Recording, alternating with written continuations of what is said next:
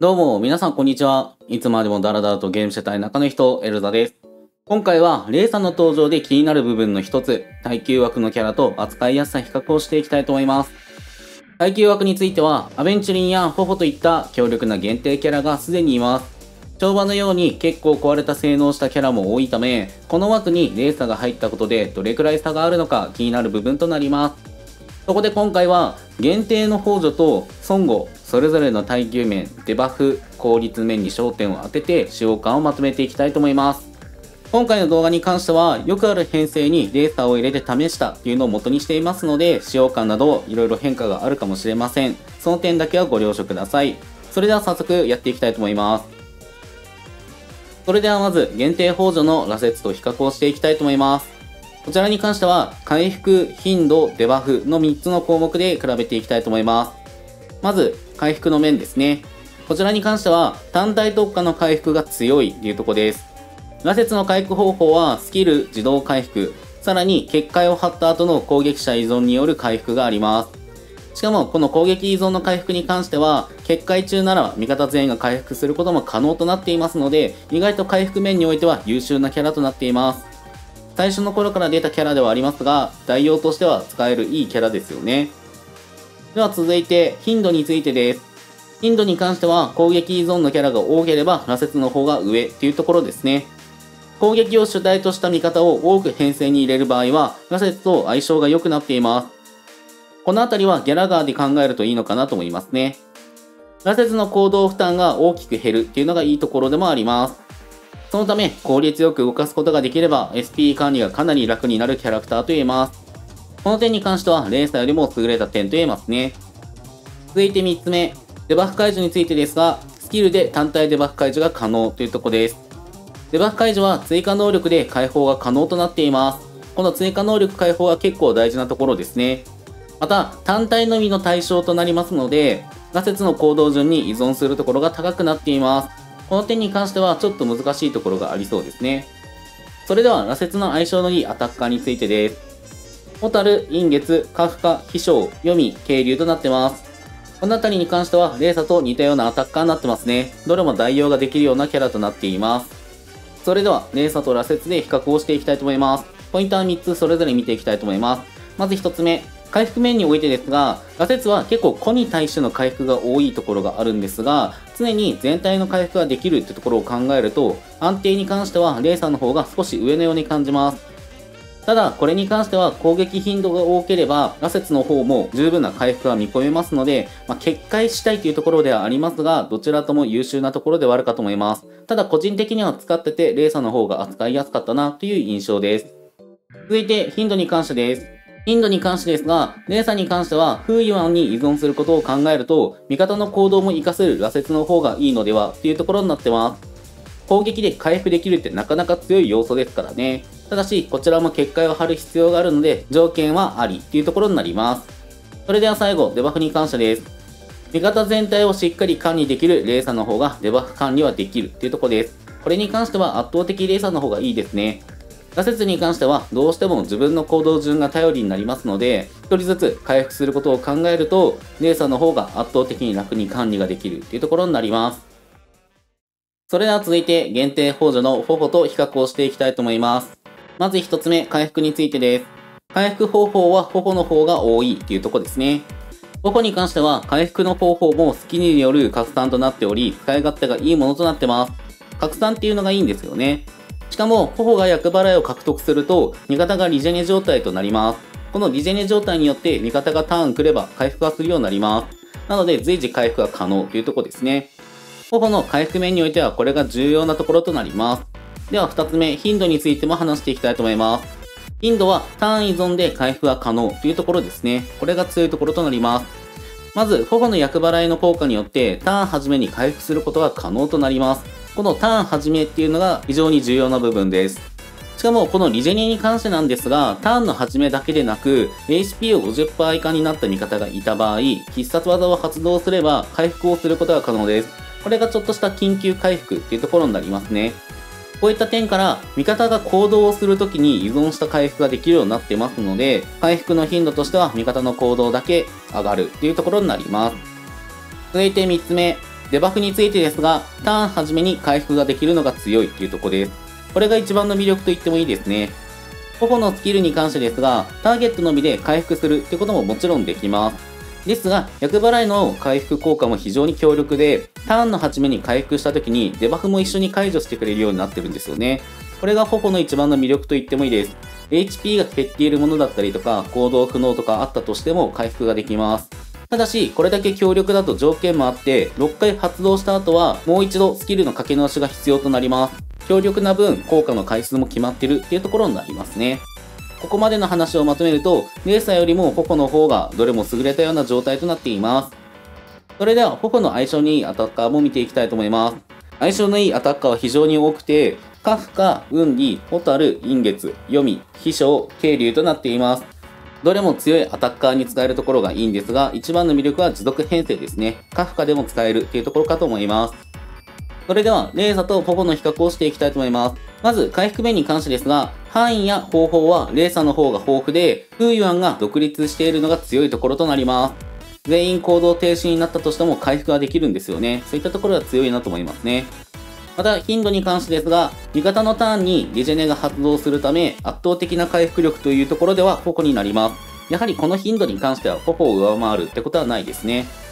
続いて、デバフに関してです。デバフに関しても味方のターンで解除ができるっていうのがありますので、発動者に依存が少ないっていうところでは矛が優秀かなと思います。もちろん、レーザ自身もデバフ対応っていうのはすごく強いんですが、どうしてもフーユアンの行動が必須となるので、スキルだったりとかの調整がいるんですよね。そういった手間を考えると、頬の方が優秀かなと思います。それでは、工場だけでの評価をまずはしていきたいと思います。1つ目、回復やデバフ性能に関しては、頬が強いっていうとこです。回復やデバフに関してですが、味方のターンをはじめに発動ができる頬の厄払いは非常に優秀で、回復頻度も多いので魅力的となっています。レーサーを使った時にちょっと物足りないなっていうのが正直感じたところはあったので、この点は矛の方が上回ってると思いますね。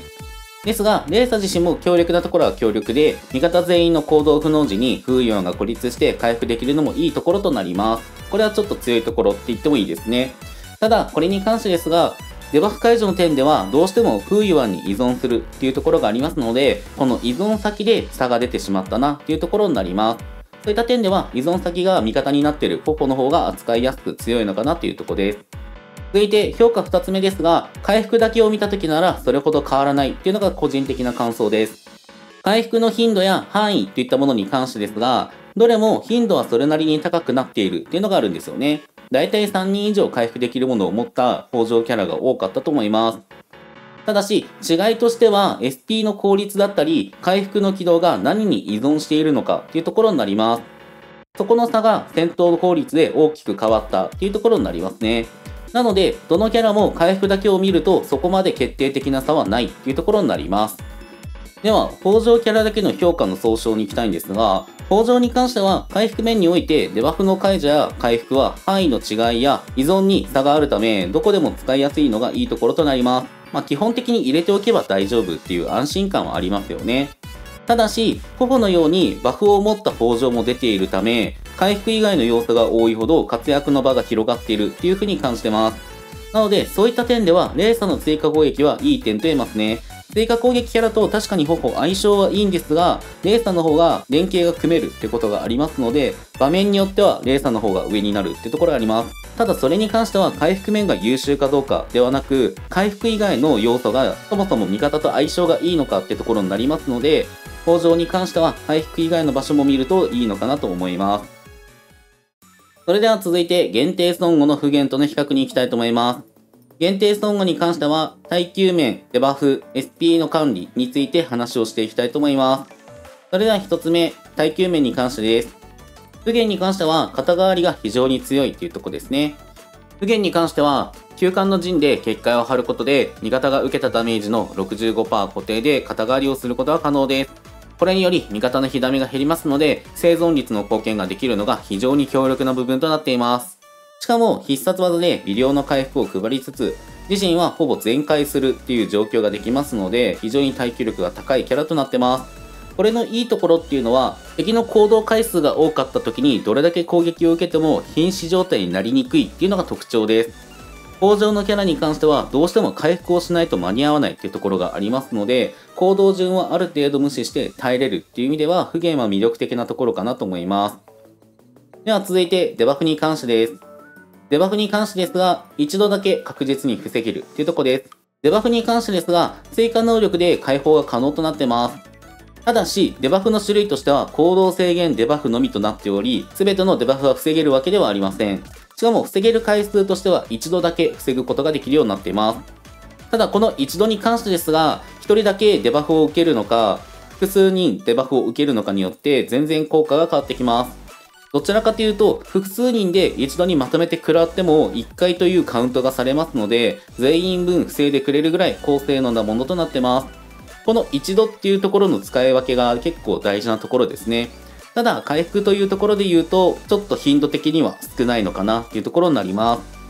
続いて3つ目、SP の収支に関してですが、不言に関しては収支は結構高い方だと思います。スキルに関しては3ターンに一度付与すればいい状況となりますので、使い勝手がいいものとなってます。必ず SP が1以上回復できるってところですね。しかもバリアのような上限的なものがないため、SP 効率はかなりいいものとなってます。この辺りはアベンチュリンよりも優れた部分となっていますね。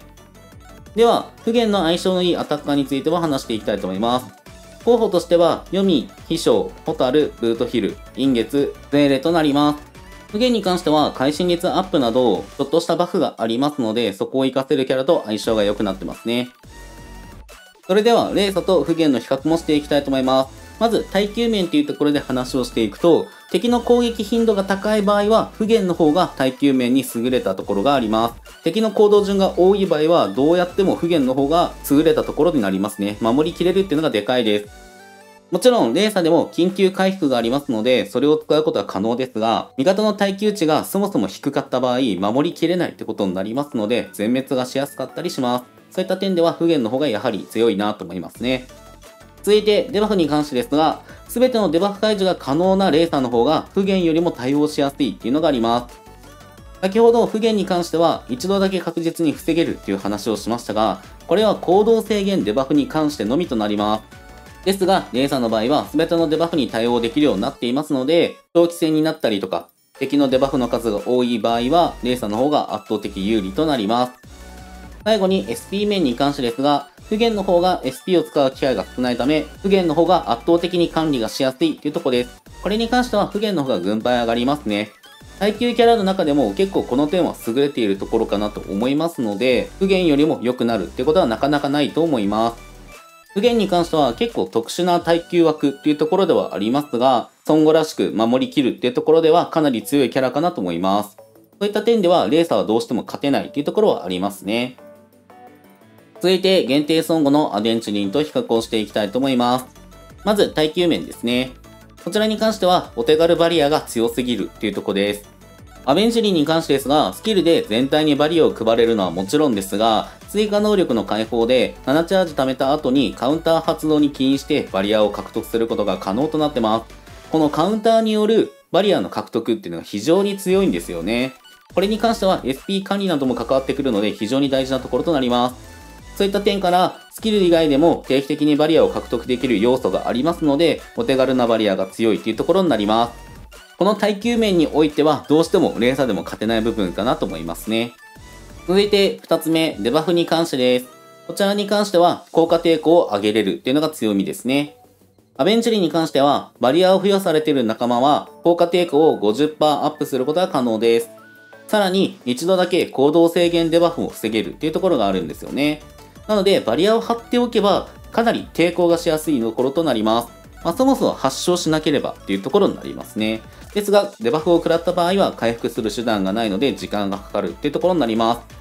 なかなかこのあたりは考え物だなというとこですね。続いて3つ目、SP 効率に関してです。こちらに関してはカウンター次第で効率が変わるっていうとこですね。まあ、基本的には効率丸と思っておいてください。バリアの付与次第ですが、カウンターをうまく発動できれば、バリアを定期的に張り直すっていうことが可能となります。ただこれに関しては編成依存がめちゃくちゃ強いところになりますので、カウンターをうまく発動できるような人であれば、SP 効率はめちゃくちゃ高いキャラかなと思います。こうなった場合、SP 管理においては、レーサーは勝てるところがないので、アベンチュリーの方が優れているかなと思います。それでは、アベンチリンと相性のいいアタッカーを見ていきたいと思います。相性のいいキャラとしては、秘書、霊視読み、陰月、ホタルとなります。結構強いアタッカーと合わせるところですね。それでは、レーサとアベンチリンで比較をしていきたいと思います。まず、耐久面についてです。耐久面に関してですが、編成次第っていうところはありますが、アベンチリンの方が耐えれる可能性は高いっていうところですね。先ほど話したバリアの付与の効率っていうところです。正直バリアが途切れなければ永遠と相手の攻撃受けても大丈夫になりますので、その点はめちゃくちゃ強いなと思いますね。続いてデバフに関してです。こちらに関しては確実に回復ができるレーサーの方が自己率は低くなっているっていうところですね。特に高難度でテーランドクリアを目指そうっていう時なんですが、アベンチリンの場合、ちょっとお祈り的なところに近かったりするんですよね。どうしても食らう時は食らうっていうところになります。なので、どうせ食らうなら回復ができるレーサーの方が効率が良かったりもしますので、自己率は低くなるっていう意味では、レーサーの方が軍配が上がるっていうところになります。続いて SP 面に関してです。カウンターの発動次第ではありますが、アベンチリンの方が断然効率がいいっていうところになりますね。SP 管理に関しては、どうしても霊砂回復をするとか、フーイワンを動かすためにスキルの発動が必須となりますので、結構難しいキャラとなってるんですよね。そこにアベンチュリンと勝負をして、カウンターでバリアを張れるってことを考えると、SP 効率は断然アベンチュリンの方がいいのかなと思います。それでは、存護だけで評価をしたいと思います。まず1つ目、最適編成を組めるならアベンチュリンの方が強いっていうところになります。そもそも効率よくバリアをつけれるなら、ダメージを受けても回復の心配がいらないっていうところがありますので、アベンチリンは非常に強力だと思います。これはほんと強い部分かなと思いますね。ただし、最適編成が必須というところになりますので、組めないようであれば、連鎖と不言の方が十分となる可能性もあります。このあたりは本当編成が組めるかどうかっていうとこですね。単体でも強いんですが、削られすぎたりとかバリアの付与が遅かったりすると、それだけ手間がかかってきますので、アベンジュリンも一長一短の部分があるっていうところになります。それでは続いて2つ目。攻撃的な編成なら、レーサも負けていないっていうとこです。攻撃的編成やサポートも攻撃に参加してほしい場合なんですが、レーサは耐久枠の中でも攻撃的な位置になりますので、アベンシリンにも負けない性能と言えます。結構虚構女子とか活躍できますからね、ほんと強いなと思います。しかも全体に必ず攻撃ができるっていう特徴もありますので、複数戦において有利に立ち回れるっていうのも魅力の一つです。そういった点から条件はついてしまいますが、レーサーも負けていないのかなと思いますね。それでは、孫悟だけで見た総評ですが、耐えるという部分では、肩代わりやバリアが張れる孫悟キャラの方が優秀っていうとこです。これに関しては当たり前なところかなと思いますね。そもそも攻撃を受けてそれを回復する流れっていうのがあるため、ヒーラーの方がリスクは必ずあるような状況となります。ただし、耐久キャラに関しては最適編成を組む必要性が高いっていうのがありますので、パーツが揃っていない場合は、レーサーの方が良かったりもするっていうところになります。このパーツの揃い具合っていうのが非常に大事かなと思いますね。それでは、今回の動画最後となりますが、レーサと限定耐久の使いやすさを比較していきたいと思います。今回は3つの項目で話をしていきたいと思います。まず、キャラの使いやすさ順を話していきたいと思います。こちらに関しては、アベンチュリン、ホホ、レーサ、不言、ラセツとなります。これに関しては個人の使用感というところで見てください。でこれの順番をつけた理由というところなんですが、レーサは2番手的な存在として扱いやすい位置になるためです。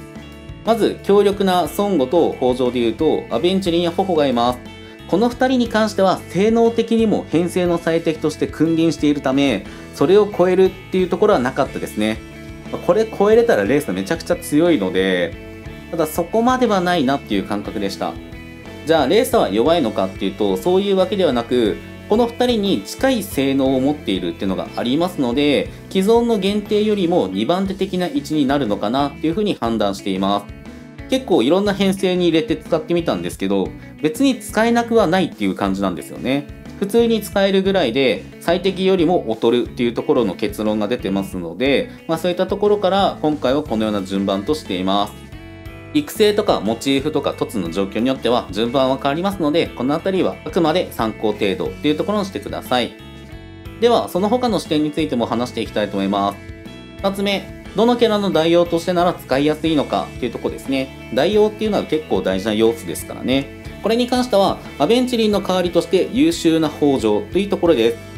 優秀な北条っていうのが結構肝なところになると思います。まあ、北条版アベンチリーみたいな感じですね。で、レーサーに関しては、回復とデバフ解除の頻度に加えて、追加攻撃も魅力の一つとなってます。この追加攻撃はめちゃくちゃいいんですよね。しかも、必殺技で必中のデバフもあるため、アベンチリンと性能が近くなっています。この点に関しては、ユミとの相性の良さっていうところで、アベンチリンと似たような要素になると思います。こういったところから、アベンチリンの代わりとしては扱いやすい北条キャラとなっていますので、とても優秀なところかなと思いますね。なので、アベンチリンの代用っていうところがいいと思います。じゃあ、頬はどうなのかっていうところなんですが、それが3つ目になります。北条だけで比べた場合なんですが、頬の強力なバフには勝てないっていうのが結論としてありますね。頬に関しては、回復だけでなく攻撃バフと DP 回復があります。これが非常に優秀で凡庸性も高いっていうのがありますので同じ土台で戦うってなった場合はレーサが勝てる要素っていうところがちょっと減るんですよねただ回復面に関しては近いっていうところの要素がありますので2番手としてはレーサーを扱うことができるのかなと思います一番いい例としては持続編成がありますよね。あちらに関しては攻撃力バフとか EP 回復があることによって編成自体の恩恵があります。ですが、レイさんの場合はそういったバフっていうものはないので、ただ回復枠というところの扱いになるんですよね。違う運用の仕方が求められるところになりますので、まあ、1番にはなれない、ただ2番目としては優秀っていうところの扱いになります。ということで、今回の動画はここまでとなります。まあ、結構ね、個人で使ってみていろんな編成に入れて試した結果というところなんですが、まあ、なかなか強い一のキャラではあるなと思いますね。一番驚いたところとしては、アベンチリンの代わりとして全然使いやすいキャラだなと思います。もちろん他のところでも使えるんで、そのあたりはまた別の動画で紹介をしていきたいなと思います。ということでご視聴ありがとうございました。このチャンネルでは今後も好きなゲームの解説やライブ配信をしていきます。引き続き動画アップしていきますので、応援してくれる方はチャンネル登録、高評価よろしくお願いします。それではまた次回お会いしましょう。バイバイ。